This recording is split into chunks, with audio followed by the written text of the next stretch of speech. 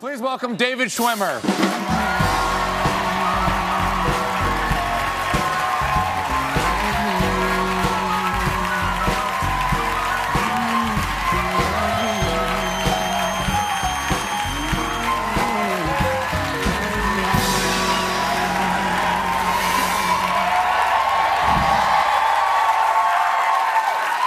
David Schwimmer. Hi, Stephen Colbert. This is incredibly pleasant to have you here. Uh, for me too. No, for me the too. people out there who may not know, we went to college together. We did indeed. yeah, we studied we studied theater Yes. at yeah, Northwestern we were University. thespians. Yes, exactly. Yes, At the School yes. of Speech, as they called it back then. Yeah, for some. We actually have a record of. of Oh, uh, this is- this yeah. is this is actual photo of you and me. We were in a, a improv group. we were.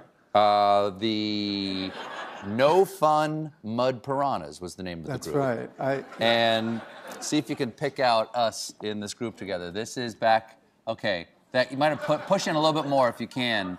There is David Schwimmer. And there is Stephen Colbert. Oh, God.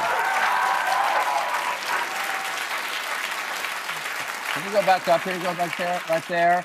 You you have hair that Kylo Ren would love. Unbelievable. Yeah, At what I- point did you give it up? What point did you give up the hair? Oh boy. Uh, yeah, I think uh, senior year in college. I finally. Really? I cut it for a show. Yeah. Really? It was uncastable? It was.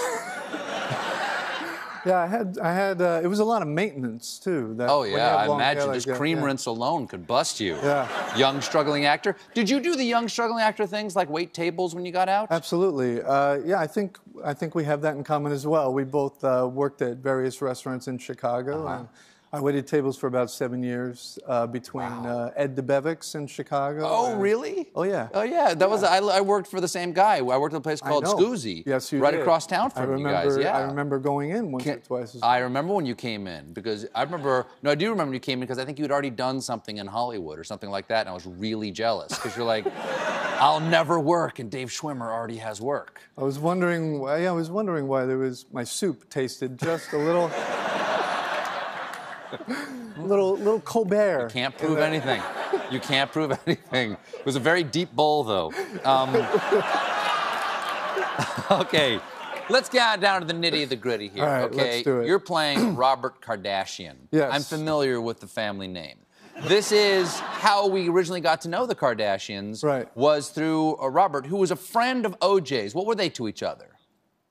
Well, they were friends. Uh, they- but how do they know each other? What was the connection? Yeah, it was USC football, actually. Okay. They knew each other for about almost 25 years before the trial. Uh, they were very good friends, uh, closest of friends, best men at each other's weddings. Uh, the families would vacation together. Uh, they were also, they went into business uh, w- with each other. Uh, Robert was a lawyer. Uh, and then when all this went down, Robert um, was asked to join the defense team. Robert Shapiro asked him to join the defense team. So he was there every day in the courtroom. He was there. He he was there every day, and also visiting OJ in jail the entire time. It's hard to believe that it was 20 years of 20 years ago at this point. Yeah. Do you, you when you first uh, this was the first year you got friends, right? Yeah, yeah. So were you paying attention to it, or was your world just blowing up too know, much for you to I care was- about stuff I like was that? Too into what I was doing, you know. Uh, No, uh, you and I knew each other, as I said, from Northwestern University, but also from theater in Chicago. Yeah. You're one of the founding members of the Looking Glass Theater, which Yeah. is an incredible theater in Chicago. If, if you're in Thanks. Chicago and, and if you're looking to see something Yeah, beautiful, please- go to the Looking Glass Theater. There's no, there's no other performance space or no other performance group like the Looking Glass Theater. Amazing, amazing, really beautiful. Whenever I see something in Looking Glass, I think, well, thank God something like that exists. It's so such a beautiful thing to have in Chicago or in the United States. Thanks. Um, do you still perform live? yeah. I didn't know. Don't. Yeah, I don't yeah. know. Oh, yeah. I don't know. And we know you from Mr. mean Famous, you know, the theater. Theater, yeah. Yeah, yeah. I did a, a play here in New York a couple of years ago uh, at Playwrights Horizons called Mm-hmm. Detroit, uh, and uh, I also, you know, I'm back in Chicago directing and acting with the company when I can. So yeah, I love it. There's nothing like like a live audience. so. Do you, uh, or like, what, what, what, how do you, like, as somebody who, are you, are you from Los Angeles originally? Yeah, I was born in Queens, but I grew up mostly all over LA. And then, And then lived in Chicago for many years. yeah, years. then went to Northwestern. How would you compare? How would you compare the three the three big cities in America? Like, do you have a fave? Uh, you know, I would say that You're um, in New York right I'm in now. New York. I'm right now. Well, I, I moved here about 12 years ago, and this is where I decided to live and raise a family. So uh, I, I would say right now New York would be my, my favorite. Nicely done. These people love you for saying that. Just don't ever come in second place in Iowa.